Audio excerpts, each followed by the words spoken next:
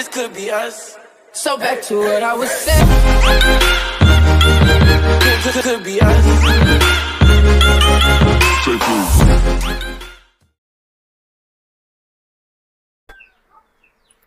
Assalamualaikum warahmatullahi wabarakatuh Balik lagi sama Mimin Awi Setelah menyerang beberapa murid abadi dan melarikan diri Oyang Su dan Jiang Piao tiba juga di Sekte Iblis. Namun dia tidak disambut oleh Sekte Iblis.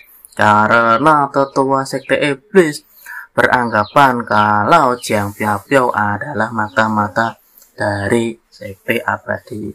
Secara Xiao Jue hari ini datang dan mencari Jiang Piao bisa dipastikan kalau Sekte Iblis akan berperang melawan Sekte Abadi. Apakah layak mempertaruhkan semua orang di Sekte Iblis untuk seorang gadis dari Sekte Abadi?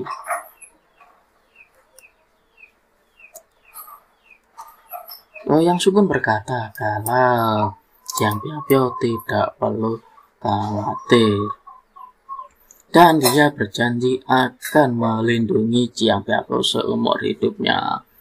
Xiao Jue hanyalah bawahan bagi Ouyang Su, jadi dia akan keluar untuk bertarung dan membunuhnya dengan tangannya sendiri.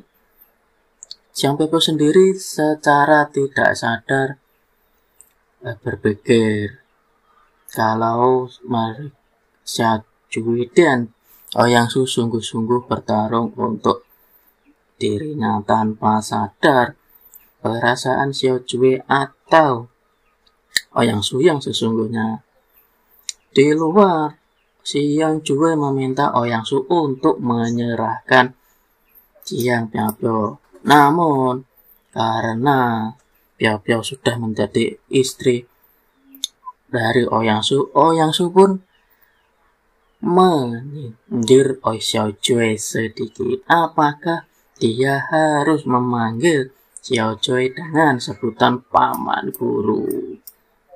Hal ini membuat Xiao Jue murka dan menebaskan pedangnya kepada Ouyang Su. Tentu saja Xiao Choi bukanlah lawan dari Ouyang Su dan Ouyang Su bisa menebas pedangnya ke Xiao Choi dengan mudah. Xiao Jue kalah karena dia mendapat hukuman yang tak tidak dapat dijelaskan dari surga terlebih kali. Dan sesaat saat sebelum si Ouyang Su melancarkan serangan terakhir kepada Xiao Jue, Jiang An-an muncul dan menghalau serangan dari Ouyang Su. Jue pun tak percaya kalau sekali lagi dia diselamatkan oleh Jiang An-an. Jiang An-an meminta Xiao Jue untuk beristirahat dan sisanya biarlah dia yang menghadapi. Dengan angkuhnya Oyang Su berkata kalau gu atau parsaan yang dia berikan kepadanya adalah sesuatu yang dia pelajari.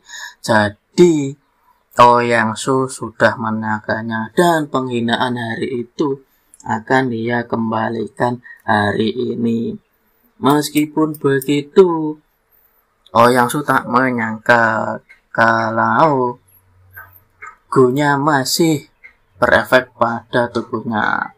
An-An tahu kalau gunya menjadi lebih lemah, jadi dia memperbaikinya.